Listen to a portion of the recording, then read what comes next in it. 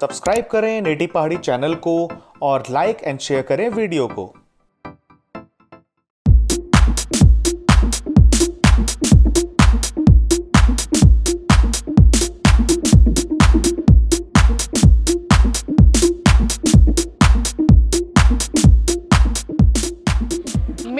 SUV segment में tight competition देने आ चुकी है मारुति सुजुकी की Grand Vitara after Brezza Maruti Suzuki का मोस्ट एंटिसिपेटेड प्रोडक्ट थी ग्रैंड विटारा जो कि मार्केट में आप लॉन्च हो चुकी है। क्या इसमें फीचर्स हैं? सब कुछ आपको बताएँगे इस वीडियो में। नमस्कार फ्रेंड्स वेलकम और welcome back to our channel native Pahadi please take a moment to subscribe to our channel hit the bell icon so that you get notified every time we share a new video तो चलिए friends आज की video की शुरुआत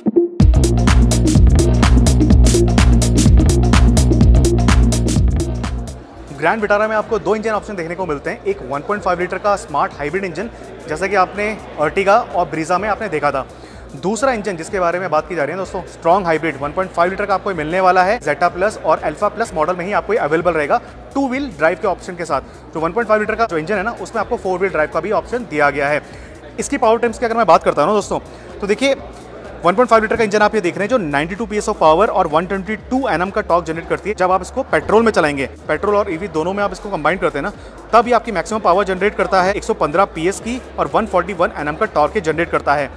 177 volt की battery भी पीछे टिकी है वहाँ पर इसमें प्लेस करी गई है। अगर मैं फ्यूल एफिशिएंसी की बात करता हूँ ना तो ये बोला जा रहा है कि एक सिंगल टैंक अगर आप भरा देते हैं तो उसमें करीबन 1200 किलोमीटर ये चलेगी। दो कीज में आपको प्रोवाइड की जा रही है रिमोट की सेंटर लॉकिंग के साथ पीछे देखेंगे सुजुकी का लोगो और यहाँ पर देखेंगे, जो बेसिक की आती है लॉक अनलॉक फीचर के साथ आपको ये प्रोवाइड की जा रही है। इस समय हमारे पास top model Alpha plus available है शोरूम में। फ्रंट प्रोफ़ाइल की बात कर लेते हैं तो फ्रंट एक्सटीरियर लुक्स में तो Grand Vitara totally stand out करती है अपने कॉम्पिटिटर्स के अगेंस्ट फ्रंट प्रोफ़ाइल में आपको मिल जाते हैं three point sharp L E D D R Ls with turn indicators यहाँ पे आपको एल ई डी हेडलैम्प्स मिल जाते हैं।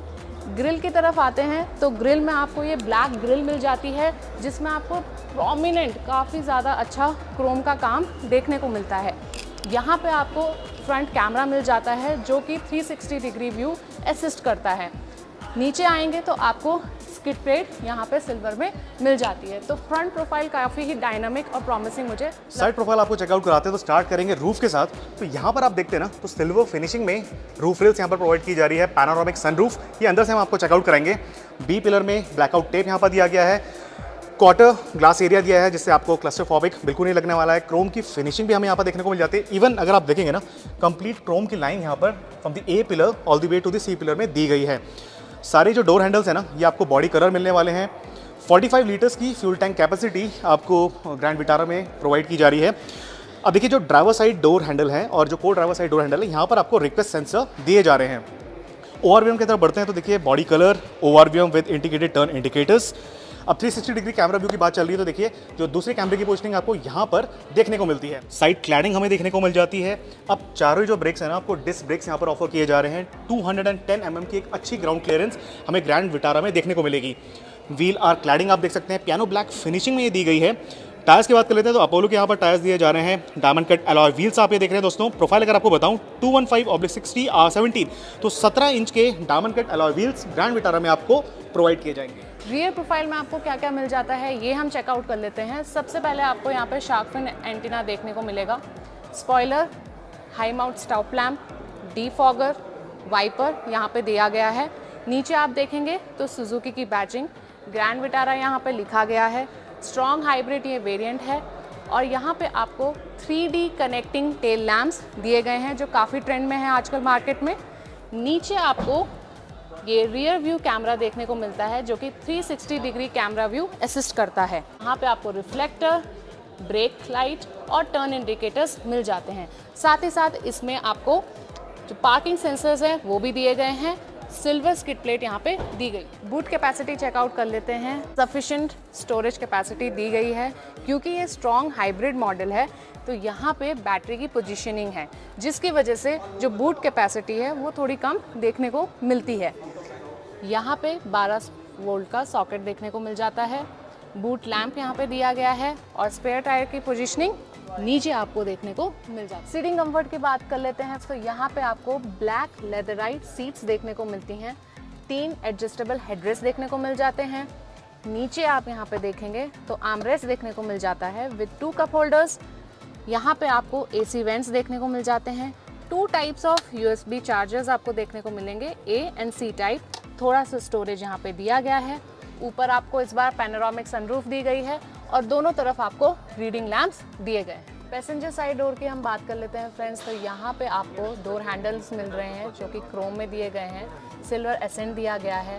ब्लैक पियानो फिनिश में पावर विंडो का कंट्रोल यहाँ पे देखने को मिलता है। लेदर का काम किया गया है सॉफ्ट टच बॉटल रखने की जगह। स्पीकर की पोजीशनिंग आपको यहाँ पे देखने को मिलती है। फ्रंट रो सीट्स और डैशबोर्ड क्वालिटी की बात करते हैं तो देखिए लेदर सीट्स यहाँ पर भी आपको ऑफ़र की जा रही है एडजस्टेबल हेडरेस्ट के साथ।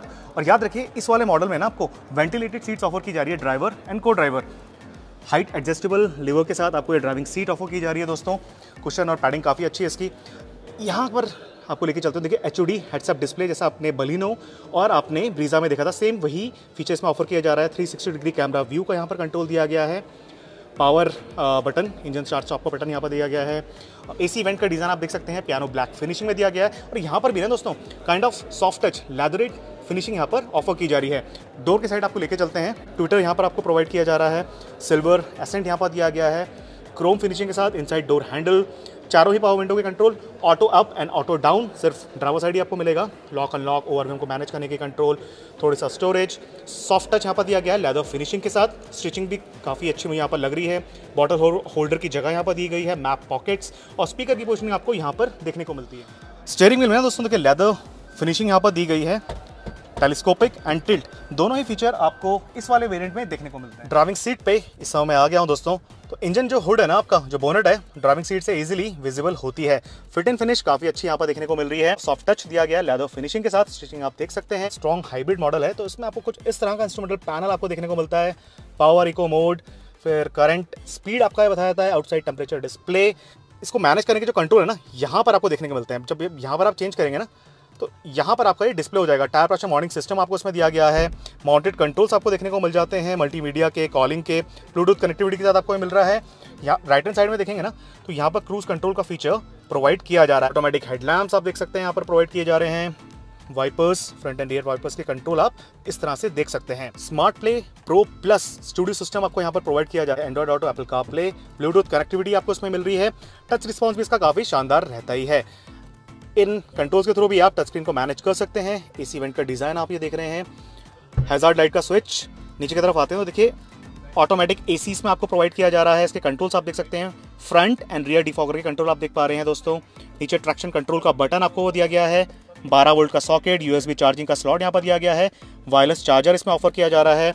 ऑटोमेटिक ट्रांसमिशन है तो उसका लीवर आप देख सकते हैं। मोड्स आपको चेकआउट कराते हैं। देखिए ईवी मोड अगर आप गाड़ी को ईवी में चलाना चाहते हैं तो इस मोड के थ्रू आप चला सकते हैं। आठ से दस किलोमीटर आपकी चल जाती है। बाकी आप पेट्रोल में आपको इसको स्विच कर सकते हैं। अब ड्राइव मोड पर ध्यान दीजिए। अब जब मैं यहाँ पर चेंज करूँगा ना तो देखिए, आपका ये इंस्ट्रूमेंटल पैनल में भी आपका दिखाया जाता है। तो पावर मोड इको मोड आप कुछ इस तरह से ये चेंज कर सकते हैं। और देखिए ग्राफिक्स और कलर्स भी यहाँ पर चेंज हो जाते हैं। और फीचर आपको चेकआउट कराते हैं तो देखिए, दो बिवरेज होल्डर की जगह मिल जाती है।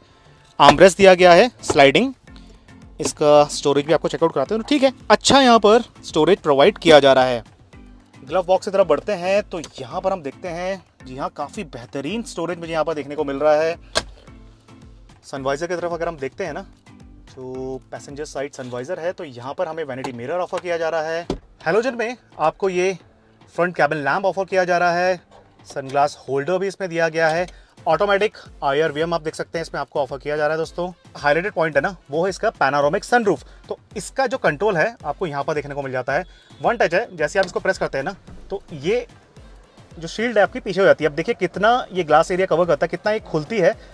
तो करीबन आप मान के चलिए, देखिए यहाँ पर तो काफ़ी ब्रॉड ये सनरूफ ओपन यहाँ पर हो रही है। ड्राइवर साइड सनवाइजर में हमें वैनिटी मिरर विथ आपका इल्यूमिनेशन दिया गया है। इन ऑल ग्रैंड विटारा काफ़ी इंप्रेसिव लग रही है। डेफिनेटली ये बायर्स को अट्रैक्ट करने वाली है। आप भी अपने नियरेस्ट डीलरशिप या नेक्सा शोरूम में इस व्हीकल को डेफिनेटली चेकआउट कर सकते हैं।